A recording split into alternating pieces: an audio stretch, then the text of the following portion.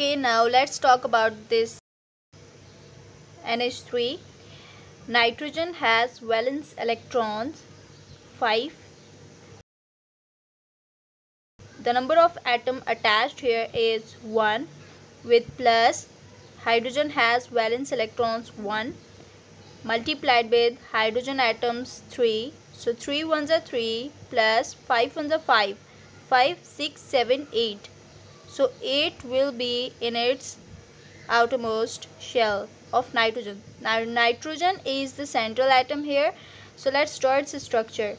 First of all we know that nitrogen has 8 electrons. So we will show 1 2 3 4 5 6 7 8 okay 8 electrons. Now we see there are three hydrogens. So we will show one hydrogen here one hydrogen here and the third hydrogen atom here.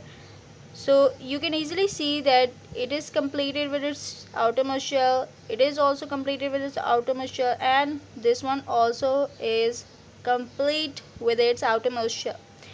So and this is the lone pair. This is the lone pair that is not bonded with any of the atom and these are the bond pair that are bonded with nitrogen. Okay